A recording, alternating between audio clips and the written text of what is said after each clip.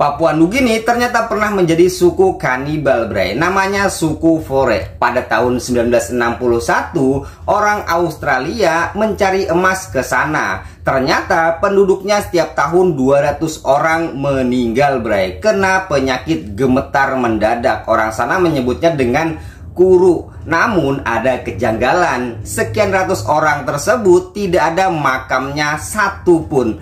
Ternyata orang sana memakan orang yang sudah meninggal tersebut. Lalu mereka bilang daripada orang yang meninggal itu dimakan cacing lebih baik dimakan oleh mereka bray. Bahkan menjadi camilan. Nah, ini menjadi kebiasaan memang sejak nenek moyang mereka ketika berperang justru musuh-musuhnya tersebut dijadikan camilan bre. Bahkan tengkorak pun tengkoraknya pun dijadikan tempat tidur. Ternyata lagi setelah diteliti oleh kedokteran penyakit yang kuruk tersebut yang gemetar itu akibat seringnya memakan manusia bre. Ngeri sekali kan